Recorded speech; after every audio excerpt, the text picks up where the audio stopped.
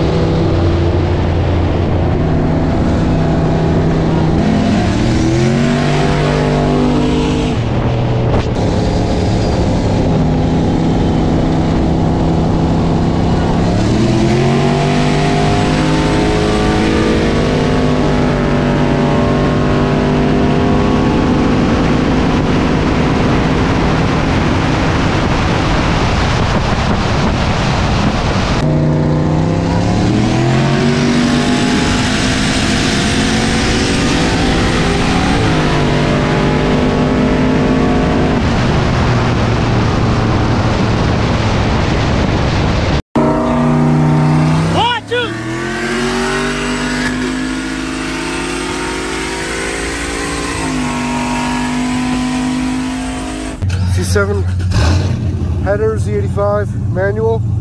He's racing a turbo 60 LS single cab short bed. They're doing a 40 and a 60.